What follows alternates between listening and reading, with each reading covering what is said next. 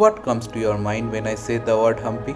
Most of you will tell ruins of the Vijayanagara Empire, the famous stone chariot on your 50 rupee note, a UNESCO World Heritage Site, and so on. But Hampi is also known for its rich biodiversity. Apart from housing the Indian sloth bear in the famous Daroji sloth bear sanctuary which you guys saw in my earlier video, there are 70 different type of birds found in Hampi. Today in this video, I will show you guys the different type of birds which I saw in Hampi. So without any further ado, let's get started with the video.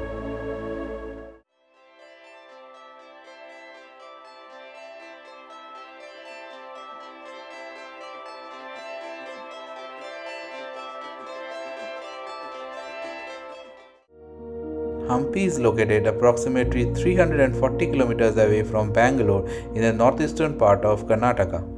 Traveling from Bangalore to Hampi can be done by various modes of transportation by roads, through buses and cabs, by train, and by air as well. Jindal Vijayanagara Airport is the nearest airport to Hampi at a 74 kilometers distance. We decided to take the cab route which covers the distance in approximately 7 hours. The journey to Hampi was very scenic with a rocky and a mountainous backdrop. Our destination was the famous Hampi Heritage and Wilderness Resort operated by the Jungle Lodges and Resorts, also known as JLR.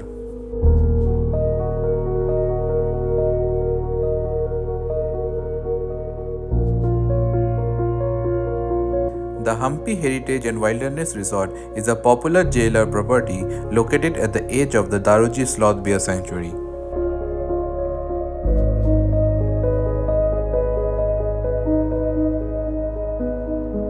Spread around 32 acres of scrubland, the resort is an ideal gateway to go away from the hustle and bustle of daily life and get closer to nature.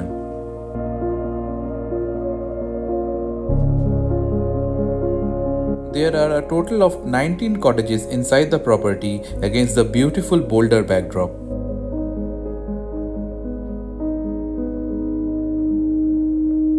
The cottages are built in a bungalow style architecture with nice spacious rooms, clean bathrooms. The rooms were also air conditioned to give you relief from the heat.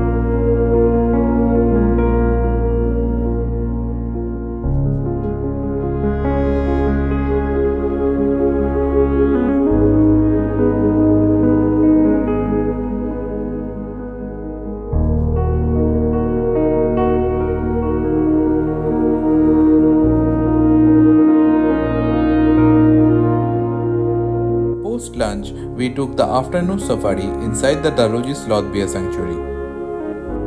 Hampi is famous for four important species of birds, or the big four I would like to call them. They are the yellow throated bulbul, the painted sandgrouse, the Indian eagle owl, and the painted spurfowl. In this trip, we were able to see three of these four elusive species. As we went inside the sanctuary along the banks of one of the Tungabhadra canals, our driver spotted something on the edge of the canyon. There it was, the first of the big four species, the Indian eagle owl. The Indian eagle owl is the largest owl species found in India. This powerful owl species is native to the Indian subcontinent and surrounding regions. They typically have a mottled appearance with brownish grey plumage streaked with darker markings.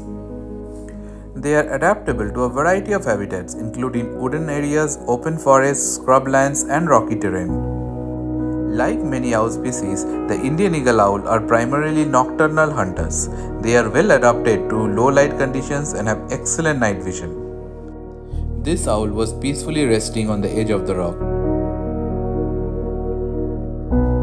As we went deeper into the forest, we also saw a woolly necked stork.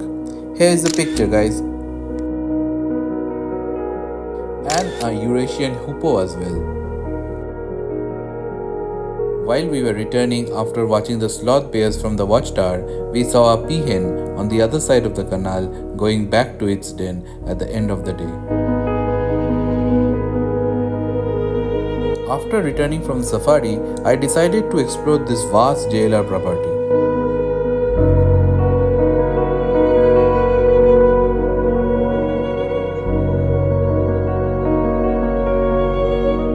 They have a bird bath right inside the property itself. There is a small hide as well, about 15 feet away from the bath. This is for the photographers to capture and shoot different birds.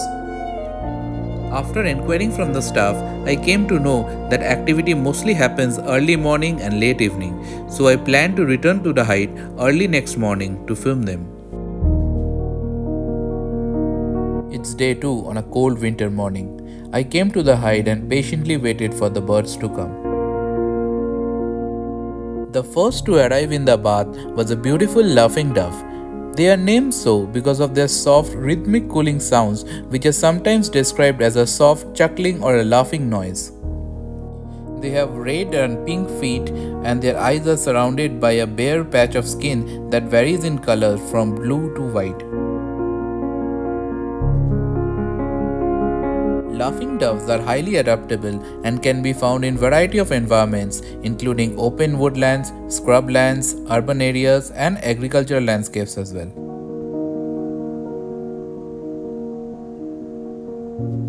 Behind the laughing dove, we could see the grey francolin picking in. They are these adaptable birds that inhabit a variety of environments including grasslands, agricultural fields, scrublands and open woodlands.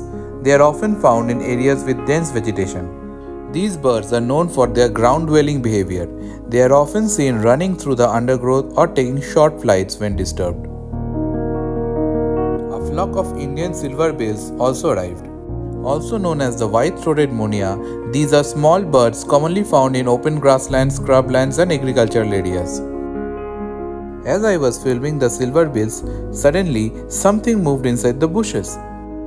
It was a jungle bush quail, a very secretive bird which often stays hidden inside dense vegetation.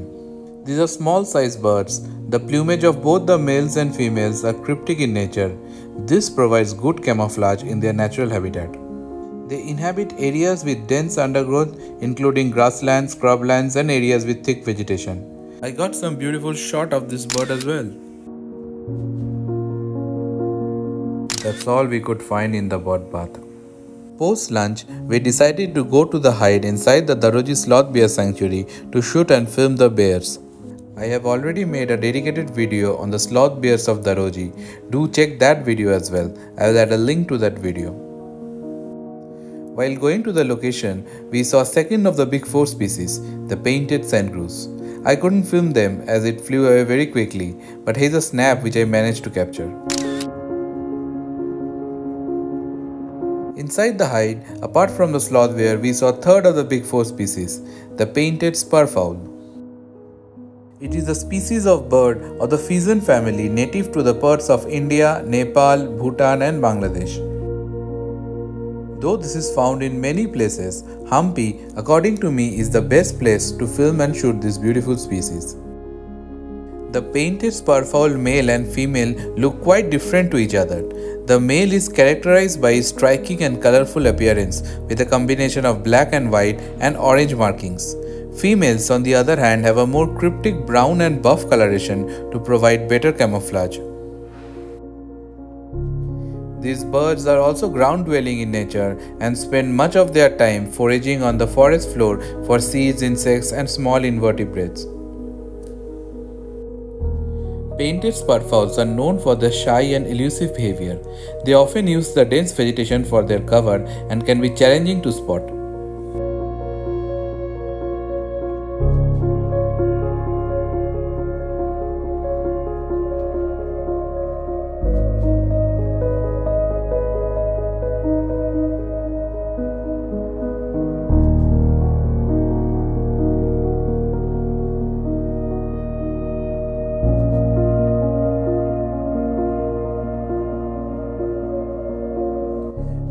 Indian peacock, also known as the Indian peafowl, arrived for lunch.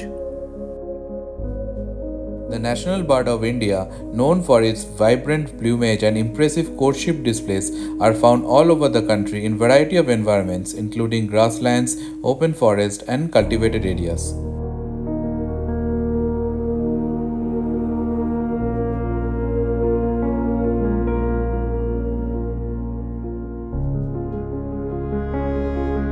They are ground dwelling in nature and spend most of their time foraging on the ground for seeds, insects, small invertebrates, and plants as well.